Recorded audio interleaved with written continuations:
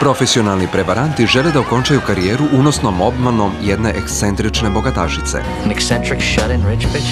You're not helping your case. She's bored. She's, she's a little, a little seed in the snow. We're gonna put her on a grand adventure. Bring her to life. She needs sprouting. Ta spektakularna avantura će ih odvesti na put oko sveta.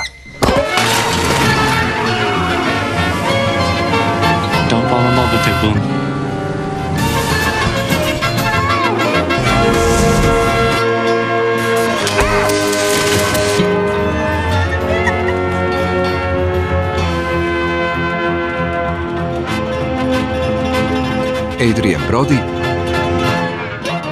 Rachel Weisz i Mark Ruffalo u avanturističkoj komediji Braća Bloom. Subota u 8.05 uveče na prvom programu RTV-a.